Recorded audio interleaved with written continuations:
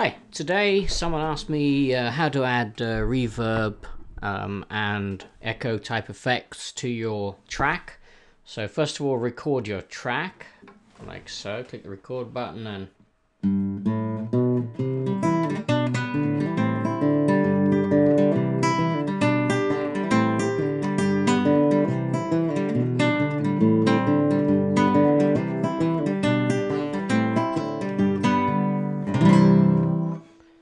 once you've finished your recording,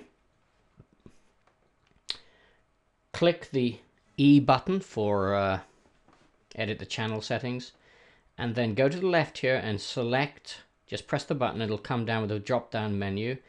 Select um, modulation, and underneath modulation, sorry, uh, underneath modulation, select, uh, I've got Roomworks.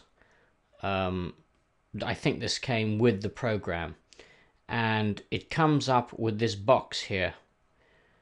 Um, reverb time and mix and so on. Now on the right there's a little square there. You have to select that and click load preset. When you click load preset it comes up with options like a guitar or let's go for guitar plucked guitar okay? And it's an acoustic guitar. So we'll go auto preview um, and it's come up with brighter drums. I'm not quite sure why that is. We'll click OK. Uh, once that's done, play back and see what it sounds like. Like so, click the record button and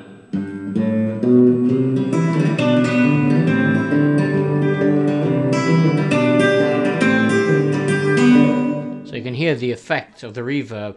Remember, it only goes on the playback you can't hear that when you're actually recording. You see, I'm just recording flat like this. That's all you're going to hear, but on the playback, um, you'll hear the actual echo.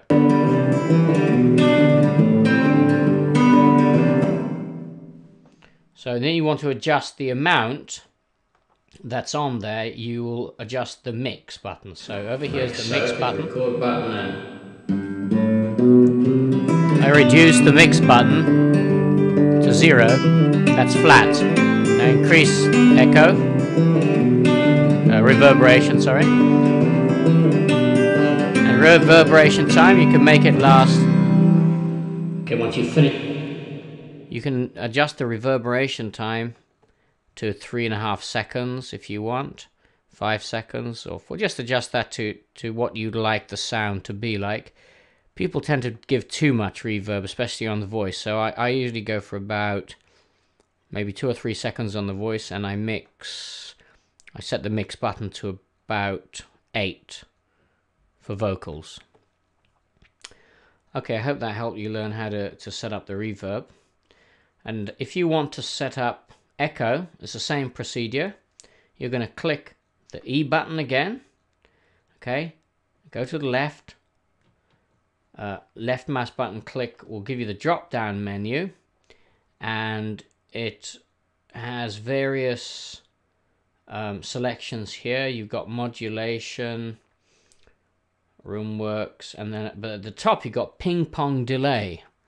And if you click that that gives you a uh, an echo in fact so as you can see, the delay is one second here. If you click the sync button, remove that, you can adjust it from 50 milliseconds, that's what that is there, 51 thousandths of a second, to, you typically go about quarter a second or 200 milliseconds for a vocal.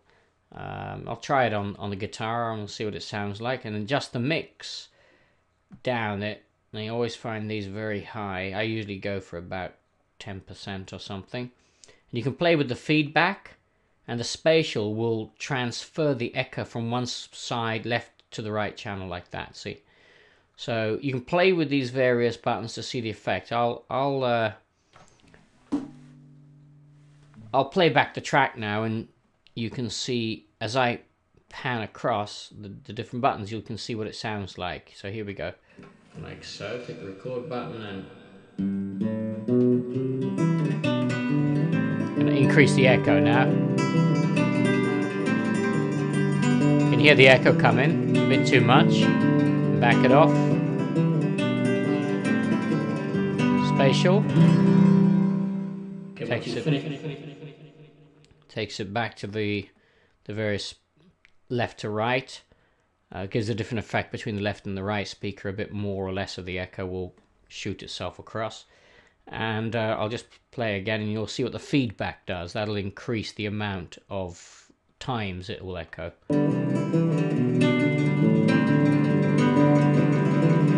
It's a bit too much, so back it off. Okay, once you finish.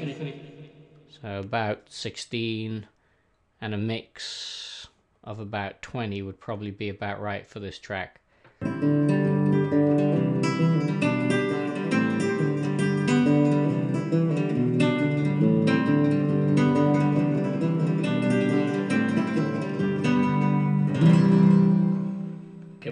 So you can play around with those buttons and create more or less delay depending on the kind of effect you want.